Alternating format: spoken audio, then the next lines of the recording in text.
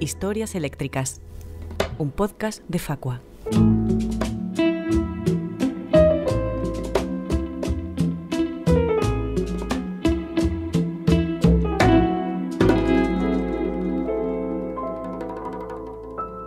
En el capítulo anterior, Luis y Miguel, tras estar fuera cinco años, miembros del cuadro español de Rosita de Triana, en donde realizaban una parodia de Luis Miguel, se encuentran que deben una considerable suma de dinero a la compañía eléctrica. Prosiguen con sus reclamaciones en vano y Luis está decidido a asociarse a Facua. Descubren por fin a qué obedecen los nuevos hábitos y horarios de sus vecinos. Pedro el sastre sigue sin aparecer, a pesar de encontrarse con su gato cada instante, y tampoco han conseguido averiguar a qué se debe el cambio físico de Mario. Pasaron una, dos, tres, cuatro y cinco noches y seguimos escuchando ruidos. Caminar en el piso de arriba, en el de Pedro el sastre. Al igual que seguimos escuchando todos los ruidos procedentes de las aspiradoras, lavadoras, batidoras y demás electrodomésticos del vecindario. Todas las noches, entre las 12 y las 8 de la mañana, la misma desafinada orquesta. Los ruidos y los olores que a un centrifugado o al sonido de un lavaplatos te puedes acostumbrar, pero cuando se te cuela en la nariz a las 2 de la mañana el olor de un cocido con coles, ya me dirás tú si puedes dormir o no. A pesar de las nuevas costumbres y horario de nuestros vecinos, Luis y yo tratamos de que nuestra vida fuera o siguiera siendo más o menos normal, o lo normal que puede llegar a ser para nosotros, y eso que no somos artistas de esos revolucionarios o excéntricos, que en hábitos y esas cosas siempre hemos sido muy normalitos.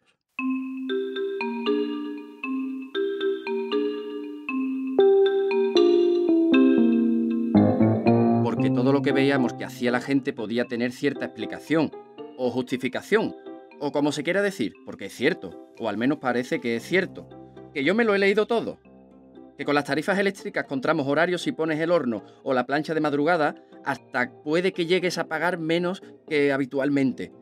Pero solo un poco, un poquito, no te vayas tú a creer. Y claro, ¿a qué precio?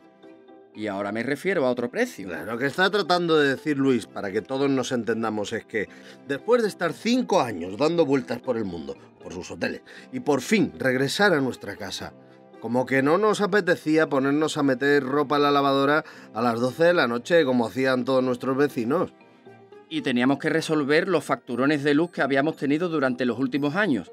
Así que, sin decirle nada a mi hermano, marqué el 688-954-954 y hablé con los de Facua, que me trataron de maravilla. Después de explicarles todo y hacerle llegar las facturas y demás, quedaron en darme una respuesta. Eso lo hizo a mis espaldas. Además de eso, yo empecé a darle vueltas a posibles alternativas.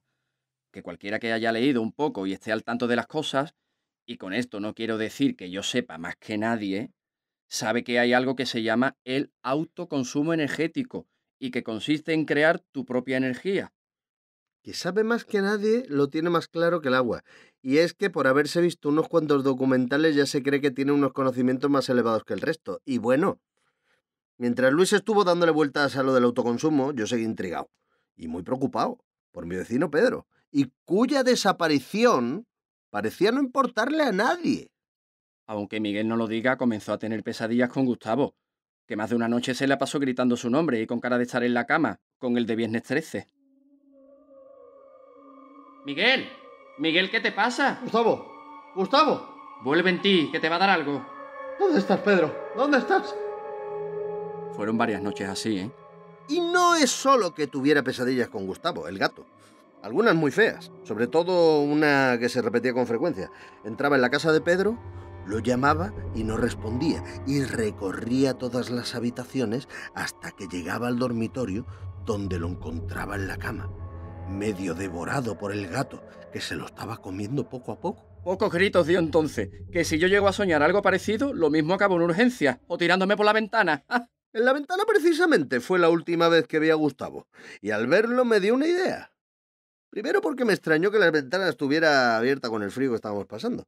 Que desde que la luz está al precio que está, ventilamos las casas en dos segundos. Y algunas han estado cerradas de noviembre a marzo. Insisto, porque la mayoría de las personas han optado por un ahorro cambiando única y exclusivamente sus hábitos y sus horarios, y no haciéndose un planteamiento serio y riguroso de las diferentes alternativas energéticas con las que nos podemos encontrar, y que son más de las que nos imaginamos. A lo que iba. Si la ventana estaba abierta, cosa rara por otra parte, se podía entrar en el piso de Pedro, que a tanta distancia no estaba de mi ventana. Una idea que yo también tengo mis ideas comenzó a dar vueltas en mi cabeza. Una idea que fue cobrando más y más fuerza cuando Gustavo, el gato, empezó a maullar. Ahí sí le doy la razón a Miguel, porque está científicamente comprobado que los gatos solo maullan por tres motivos. Por celo, por hambre o por pena. Y el maullar de ese gato, ese maullar tan quejoso, tan lastimoso, solo podía ser de pena. De hambre, desde luego que no, porque a pesar de la aparente ausencia de su propietario, Pedro, el sastre, cada vez que me topaba con el gato en la escalera o cuando lo veía por la ventana, lo seguía viendo como siempre, lustroso, pero para nada canijo, lo que conseguía que mis pesadillas se volvieran a repetir. Mira, mira, que por ahí va Mario. Algo le ha tenido que pasar para coger tantos kilos. Bueno, Miguel, en el confinamiento todos hemos engordado. Una cosa es engordar y otra bien diferente es esa.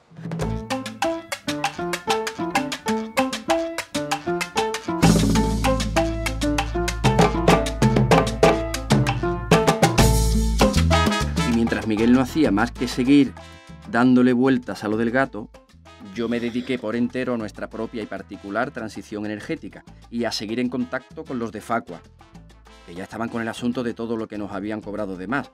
Y como siempre deberíamos hacer, porque es donde está toda la verdad, acudí a la ciencia. A la ciencia de los anuncios de Instagram, a los tutoriales de YouTube y a los consejos de los TikTokers, debería decir, y no he terminado la frase, porque eso es lo que hizo mi querido hermano Luis, el riguroso científico. y de este modo comenzaron a pulular por nuestro diminuto piso los más raros y estrambóticos aparatos que nunca haya visto. Me centré en tres propuestas energéticas. Los acumuladores de energía, la energía solar fotovoltaica para autoconsumo doméstico y las energías alternativas. Así suena muy bien, pero lo voy a explicar yo de una manera que nos podamos entender todos y que a veces mi hermano parece un político explicando su programa electoral, que parece que hay más de lo que hay y lo que realmente hay es nada. Soluciones energéticas pensadas y diseñadas desde rigurosos estudios comparativos. Nada de improvisaciones. A ver, para entendernos, lo de los acumuladores de energía se llama en realidad pilas. Sí, pilas. Y es que mi hermano buscó en mil sitios lo que consumía una radio y dedujo por él mismo que en la hora punta, que es casi todo el día por otra parte, la radio consumía menos si iba a pilas que si la enchufábamos a la luz. Tras un estudio riguroso. Lo de la fotovoltaica con toda la retaila que dijo detrás es una placa que compró en un bazar oriental, tras dar vueltas por toda la ciudad para ahorrarse 50 céntimos. Que pegada a la ventana del salón y conectada a dos bombillas nos iba a dar por la noche la luz que necesitábamos gratis. A partir del octavo mes, una vez amortizada la inversión, y eso lo dijo literalmente. ¿eh? Y no me vayas a decir que eso no funciona. Lo que se dice funcionar cuando quieren se encienden las dos bombillas, que no siempre. Pero yo creo que las cuevas de Altamira tenían más luz que nuestro salón, de verdad. Y eso en la opción high. Que en la opción low, un candil ilumina más.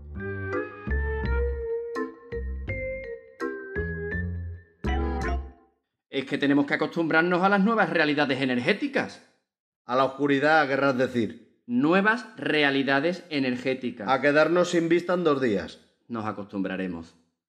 Pero es que cuando mi hermano Luis se refería a las energías alternativas, en realidad estaba hablando de las velas. Sí, las velas, las velas de toda la vida, porque calculó lo que consumía una bombilla de 90 una noche y cuánto gastaba una vela. Y como le salieron las cuentas, pues unas cuantas noches estuvimos con velas. Como si estuviéramos protagonizando el nombre de la rosa. Menos mal que no encontró una alternativa para la televisión. Que la hay. La lectura, por ejemplo. O volver a repasar nuestro repertorio de cuando estábamos con Rosita de Triana, que a lo mejor había que ir pensándose en volver. Visto lo visto, que por lo menos en los hoteles no hay factura de la luz, ni del agua, ni de gas. A verlas las hay. Te las cuelan de esa manera. Ni tampoco hay vecinos que se pasan en la cama todo el día, Ni gatos que se cuelan en nuestros sueños, ni personas que se transforman. Ni vecinos desaparecidos que se pasan las noches caminando. En fin, que tras cinco años fuera, nuestro regreso no fue especialmente plácido, por decirlo de alguna manera. Como que la nueva realidad energética no era un gran chollo. No empecemos con esa discusión. Y es que utilizar el programa de lavavajillas para lavar los platos, la ropa interior y además hacer un flan de huevo, como que no es mi sueño.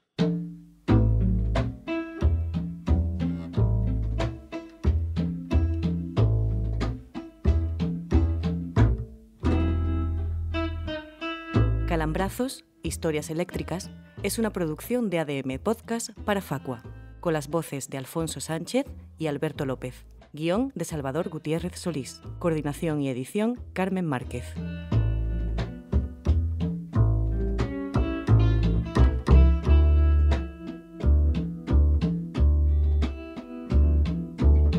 Esta campaña está financiada por la Dirección General de Consumo del Ministerio de Consumo, siendo su contenido responsabilidad exclusiva de la asociación beneficiaria.